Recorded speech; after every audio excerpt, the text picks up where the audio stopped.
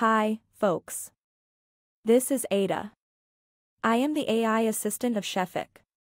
Welcome to this channel. Today, I'm going to talk to you about DeepFace, a powerful open-source Python library for facial recognition and analysis. But before we begin, please like the video and do not forget to subscribe to the channel.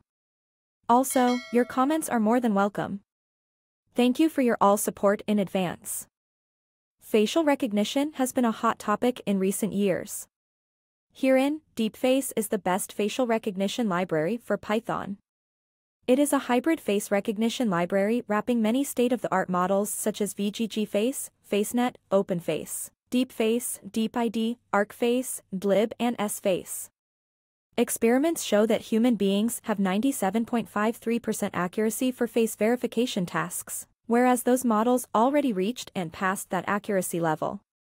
A modern facial recognition pipeline consists of four common stages, detect, align, represent and verify. DeepFace handles all these procedures in the background. While you can run it with just a few lines of code, you don't need to acquire in-depth knowledge about all the processes behind it. Detection and alignment are early stages of a pipeline. We're planning to feed clearer images to face recognition models. Herein, DeepFace wraps many cutting-edge detectors such as OpenCV, SSD, DLib, MTCNN and Retina Face. These detectors find facial landmarks as well. Once we have the coordinates of eyes of the facial image, then we are able to align it. So, in the high-level perspective, DeepFace covers these functionalities. 1. Face verification. This refers to comparing a face with another to verify if it is a match or not. 2. Face recognition. The task refers to finding a face in an image database. Performing face recognition requires running face verification many times in the background. 3. Representation. Facial recognition models represent facial images as multidimensional vectors. Here, expected behavior is that pairs of same person should have much similar vectors than pairs of different persons. Sometimes, you need to store vectors in your database. DeepFace has a custom represent function to find vector embeddings from facial images. Forgive facial attribute analysis. This describes to extract attributes such as age, gender classification, emotion analysis and ethnicity. 5. Face detection. It has a custom face detection function. You can also use this function with its wide face detector portfolio only with the purpose of performing face extraction.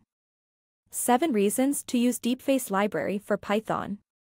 1. It is lightweight. You can use any functionality with a single line of code. 2. It's easy to install. DeepFace is published in the Python package index. The easiest way to install the package is to call pip install deepface command. This will install the library itself and all prerequisites. Finally, it's built on top of TensorFlow. 3. It has a wide range of model portfolio.